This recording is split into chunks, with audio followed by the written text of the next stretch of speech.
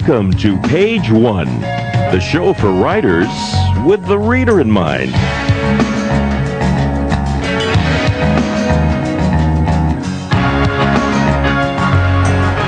Here's your host, Zita Christian.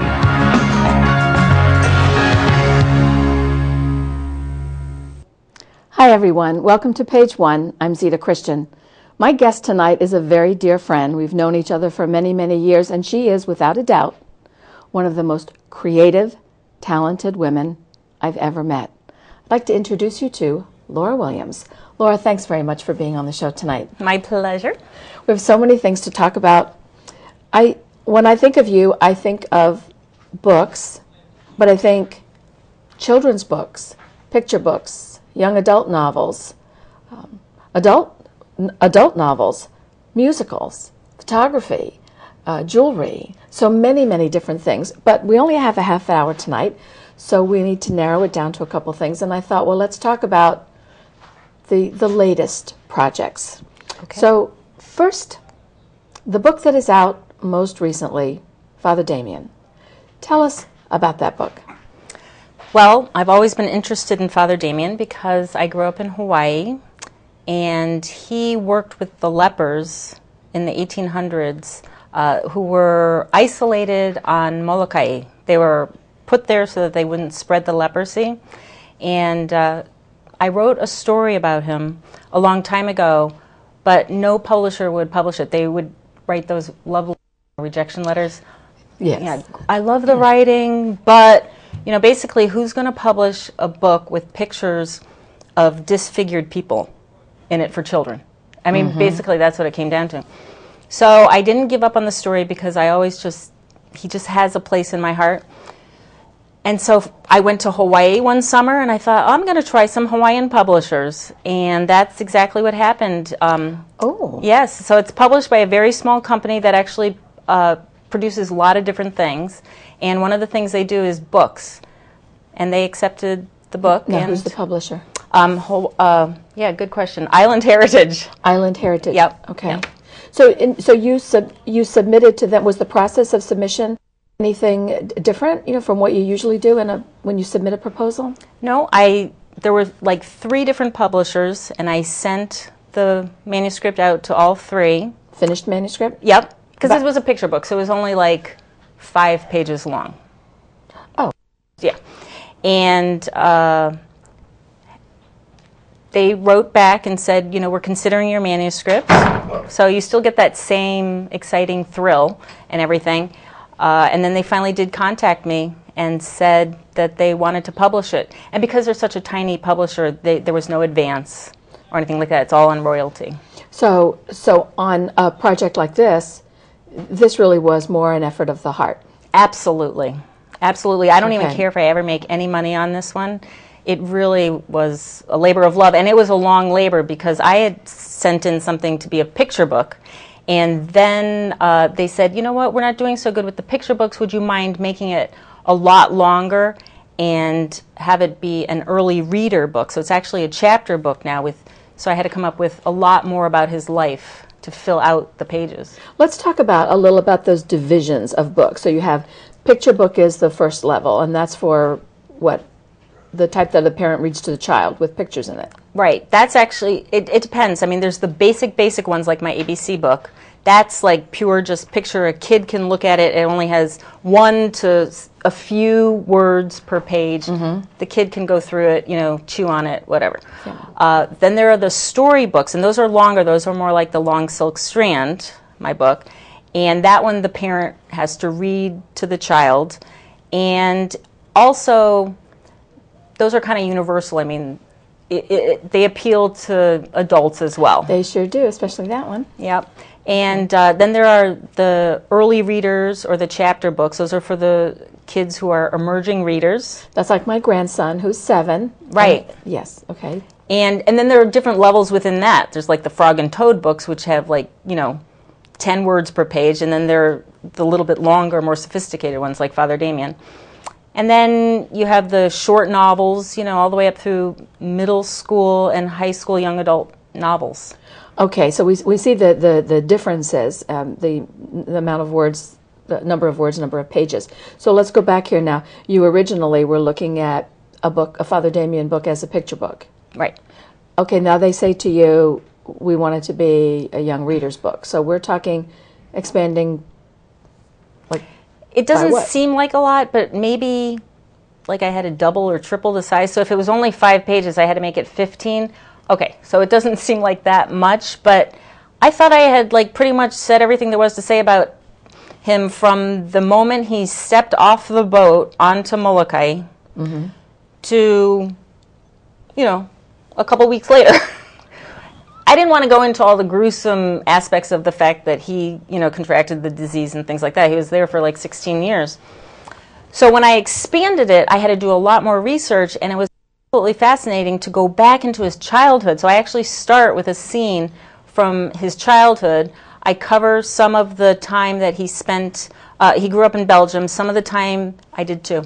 Some of the time he spent in his, uh, you know, learning to be a priest in Belgium, and then finally getting transferred over to Hawaii, and working on the Big Island before he actually went to Molokai. So from where I started, I went. You know, I had at least three chapters prior to that.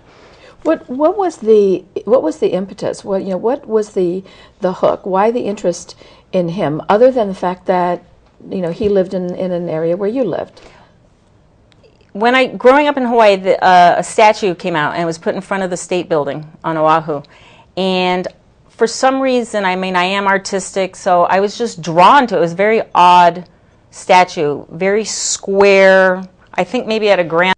Um, I, I, it was probably cast, but it was like a dark-looking, very square-shaped person with this hat on that he's always depicted with, and I just remember being so interested in that and just kind of taken with the whole idea and and and it's kind of a gruesome sad story and I guess I was always a little sick that way. Well, well, now that that brings up an interesting point, though. This is a sad story. I mean, here's here's a man who spent his life, his adult life, caring for lepers, people who were outcasts mm-hmm. in society, and he contracted the disease himself. How did this publisher? How did they deal with the the issues that all the other publishers that you know, they found to reject the book? I mean, this publisher wasn't afraid. So Well, why, do you think? it- because it's a Hawaiian publisher, I mean, Father Damien is an icon there. I mean, he his statue is in front of the state capitol. I mean, he is amazing, you know. But did they let you did they let you have pictures or talk about the more gruesome aspects of the story, considering that this is a children's book? I didn't really go into, you know, no, I didn't really need to because my point wasn't to say, oh, it's so sad that these poor people. It was more about what love and life and selflessness Damien brought to his care of these people. And that's why he contracted the disease because where nobody would touch them, he was changing their bandages and eating with them and doing things that everybody was like, no, no, no, no, no, don't do this but he couldn't help it. He he had to be one of these people. He had, you know, how could he love them and preach to them if he if he didn't hug them? So he contracted the disease. Right. Okay. And then he eventually died of it. And what has happened to his memory now? Well, just a month ago, he became a saint. And so I kept the title of the book Father Damien because that's how he is best known as. But now he is a saint. He was actually uh, made into a saint, I want to say September 11th, but I don't think that's right. Something around that. Or 2009 though. October 11th. Something, yeah, yeah. So, Sorry, so do they have the call him Saint Damien or Saint Father Damien? You know, s- now he's Saint Saint Damien. He'll always be Father Damien to me. I mean, he used to be Brother Damien until he became a priest. Then he was Father Damien, and then he was like known as the Blessed because you have to go through several mm-hmm. stages in order to become a saint. And I'm not Catholic, so I don't really know what all the different you know divisions are. But but he made it. They had to prove that he did miracles. Miracles. Yeah. yeah, okay. and things like that. Well, you know, this being page one, I always ask if, if the guest is an author, I ask the author to read page one of the book. But in, in your case, Laura, I do want to ask you to read from Father Damien, but n- not page one. Um, and we talked about this before the show. So Mm-hmm. tell us about the place you're, the portion in the book you're going to read, and give us a little setup so we know what's going on beforehand. Okay, it's actually the beginning of chapter two. Okay. In chapter one, there's a scene of Damien, and he used to be, his name, uh, you know, as a child was Joseph, or they called him Jeff. So there's a scene with his sister, and they're skating in Belgium on the frozen river, and he falls through the ice. It shows his bravery. It supposedly actually happened, but he was so stubborn, he wasn't going to drown in that freezing cold water, and, uh, you know, so he, he survived that. So in this next chapter, he's you know older. He's he entered the priesthood because his older brother did, and he just always wanted to serve God. So I always I think people think of priests as being stern and you know fatherly and maybe stuffy. And the point about Damien is that he was wonderful. So let me just read chapter Okay. two, um, and the chapter is called "Still Laughing." Okay. Hush, Damien, Pamphile said under his breath. You laugh too much. Damien, who was called Jeff as a boy, laughed harder. How can a person laugh too much? It's not seemly for a priest to laugh so often or so loudly. I'm not a priest yet. But you want to be, Pamphile said sternly. Damien tried to stop smiling, but it was difficult. He spread his arms wide and breathed deeply. Life was wonderful, so why shouldn't he laugh? Even though he tried to be more solemn and studious like his older brother, he couldn't help wondering whether God really minded if he laughed. Still, he did not want to do anything to hurt his chances of becoming a priest of the congregation of the Sacred Hearts of Jesus and Mary. This was something he had wanted to do for years. He was now called Brother Damien, and one day he wanted to become Father Damien. He studied hard and prayed as often as he could. When someone was hungry, he willingly gave up his food. He even slept on the hard floor without a mattress to prove his devotion to God. The difficult part was holding back his laughter. Sometimes it just burst out of him before he could stop it. He hid his grin behind his hand. Yes, Pamphile, you're right. I'll try to behave myself. Pamphile nodded. Good. There's hope for you yet. Then even he smiled. Though only God knows how. Damien reached over and hugged his brother. Pamphile pulled away, sighing. Be careful, brother, you'll crush me to death, he said, rubbing his shoulders. Sometimes I think you don't even know your strength. It's from lifting all those bags of grain on the farm, Damien said with a quick grin. I'll need my strength when I'm called to do God's will. Strength of spirit and mind, Pamphile said, not strength of muscle. Damien shrugged. We'll see, was all he said. Wonderful. Okay, so we're getting a, a little glimpse of him before the start of the story that most of us know exactly about him. exactly and and it it really portrays very well that he did laugh and he was known you know the literature that i did read about him um, he did laugh a lot he you know that and that's why uh, his patients were, were drawn to him, his congregation. And, uh, and he was very strong. I mean, that was said over and over again. You know, when he fell through the ice, he was able to save himself because he was so strong. And he needed his strength. And that's why it's, you know, it's a little foreshadowing to say, oh, well, we'll see if my muscles will do any good because, Yeah. oh, yes, he, he needed his strength quite a bit when he was living on, in Hawaii. What now this this age range? Let's. I'm thinking my grandson, seven, eight, nine, mm-hmm. ten. Is that about the? Yes, it, on the back range? it says seven to ten. So yeah, Okay. right about that. What what's if if there were one thing that you would want a young reader to take away from this story? What do you think it would be? Well, perhaps two things. One would be a general thing that segregation of any kind is wrong. Because basically, what the Hawaiian government or kingdom at the time did was take anybody who had any signs of leprosy, which is now, by the way, called Hansen's disease. It's not called leprosy, but because it was at that time, I do refer to it like that. Um, but they, they stuck them on a little piece of land surrounded by violent ocean and the highest sea cliffs in the world. So they could not escape. They were segregated. So that that's just you know so many different ways that that's wrong. And the second thing is that it, he was a wonderful, wonderful person, and I think everybody has the potential to be that. That's a good message. Now, we have here in the studio a beautiful picture. I'm going to get, get this up here for the uh, camera. When you, as a writer, write the story, but then the publisher comes up with cover, and if it's a picture book, the mm-hmm. illustrations. Right. But I do want to get a shot of this and have you tell us what are we looking at here? That is actually the original painting that Karen Klofsky, who is the illustrator for this book, did for the front cover. And I, be, just because I do love, you know, Father Damien so much, and I love that he's so young in this picture. We we often see photographs of him when he was quite a bit older and already contracted the disease, so he looks rather misshapen. Um, so I wish, in a way, he had a little bigger smile there, but but I love that painting, and so I purchased it actually from the artist, and she lives in Hawaii. Oh, okay. So this this is the painting. The artist creates the painting, then Mm-hmm. the artist gives it to the publisher. Publisher uses the painting to create the cover of the book. That's Right. how that works. Yep. Okay.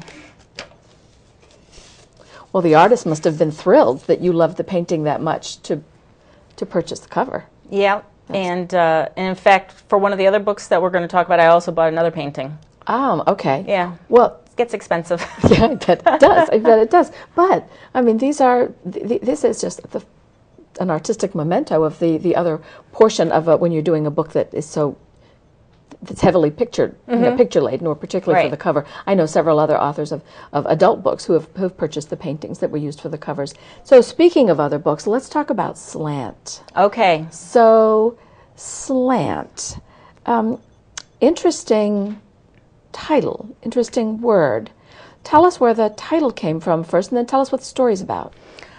Well, it's funny because before the book was published, uh, one of the people from the publishing company, Milkweed Editions, which is a small pu- uh, nonprofit, believe it or not, publisher in Minneapolis, had a deep conversation with me about the title, Slant.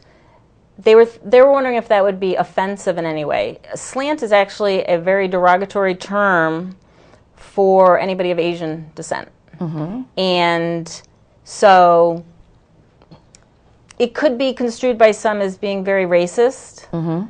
But I was very, I, I really wanted to keep it because not only is it, you know, the slant of a person's eye, which is what it it's supposed to represent, but it's also, you know, a different way to look at something. Something that's at a slant. You know, you just got to look at things a little bit differently sometimes, and that's important.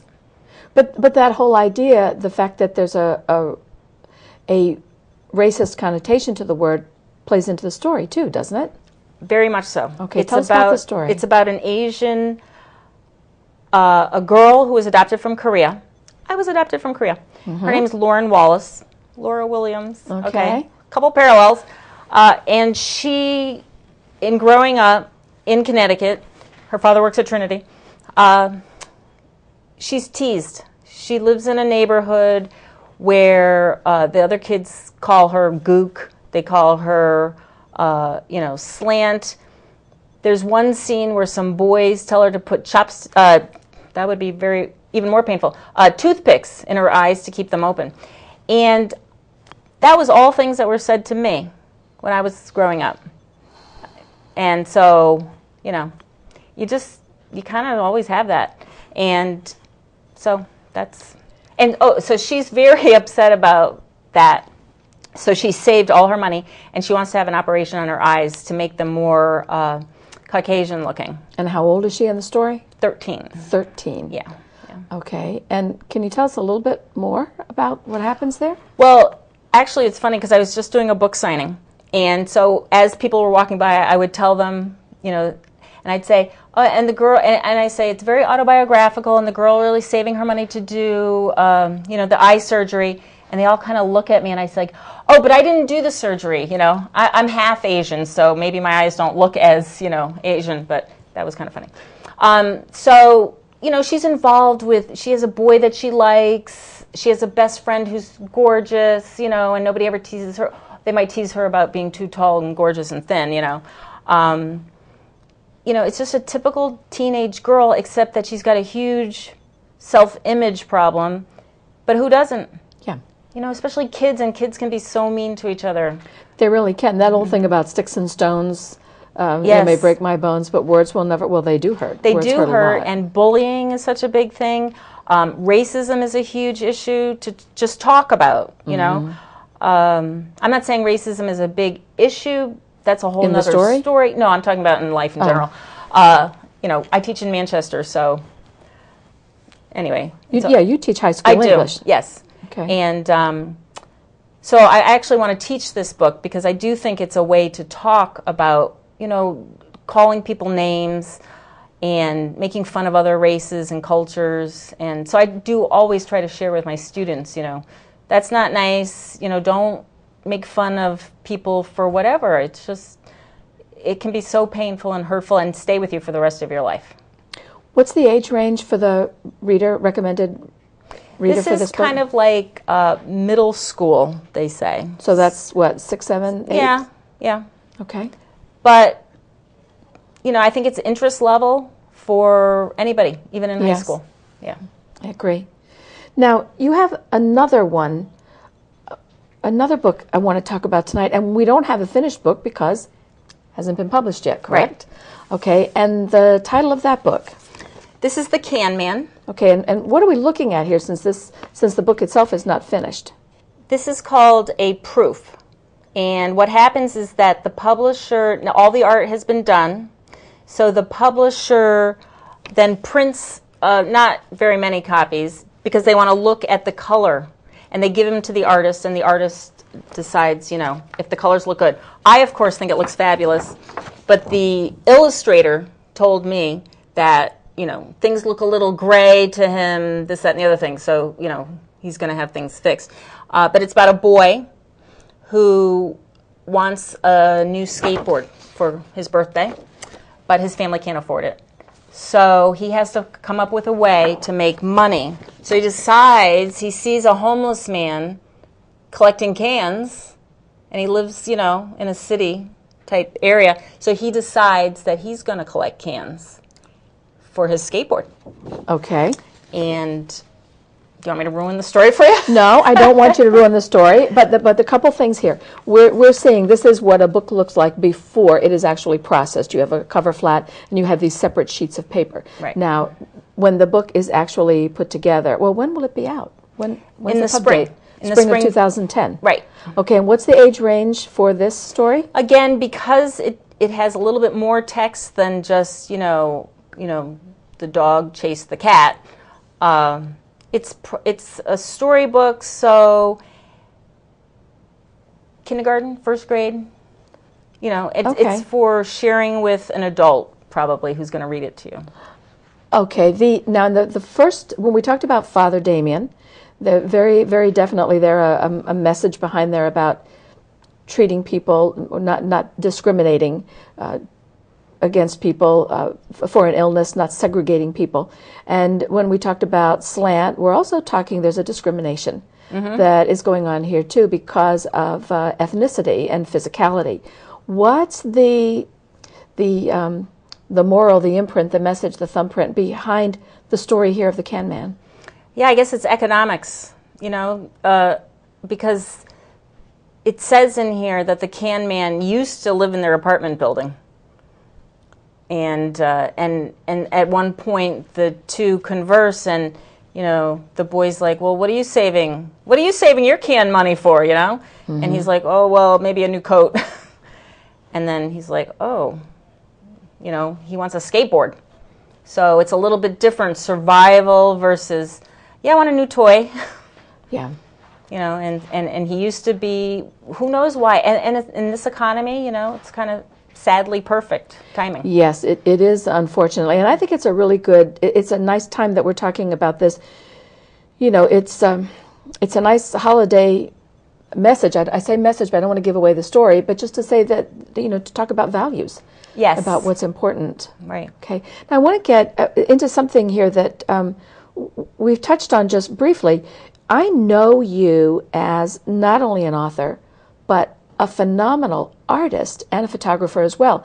And yet, for your books, though you wrote them, you had nothing to do with the artwork, either with the cover or with books, any of the artwork on the inside. Tell us about how that works for writing children's books, because I have to tell you, Laura, we meet a lot of people because of the show. People will stop me in the grocery store or um, any number of places, and I find many, many people want to write children's books. That's that's the big.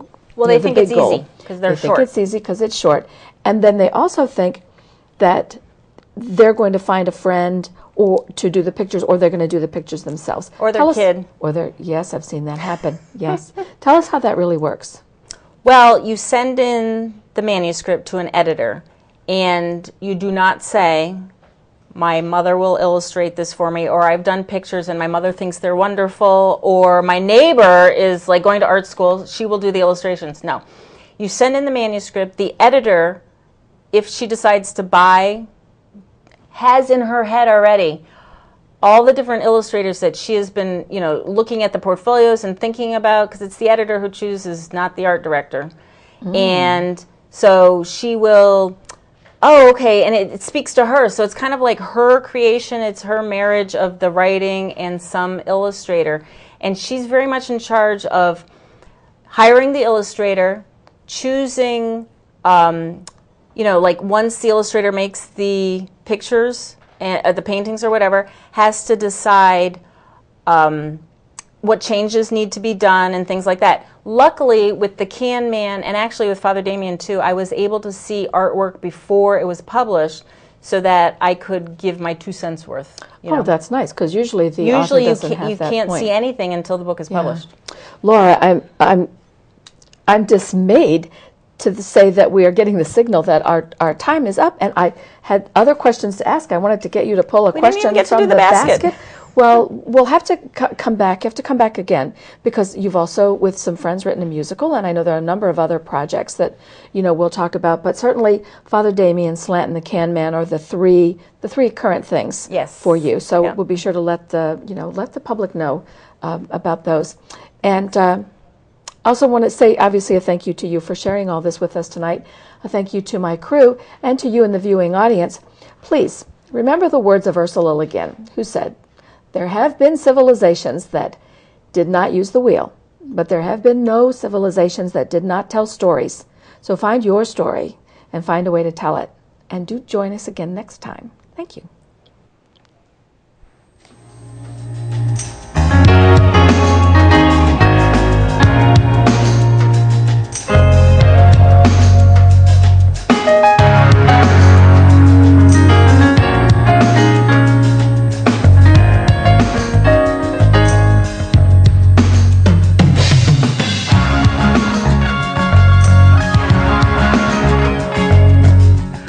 For the crew and guests was provided by Manchester Grill of Manchester, Connecticut, and Angelo's Restaurant of Glastonbury, Connecticut.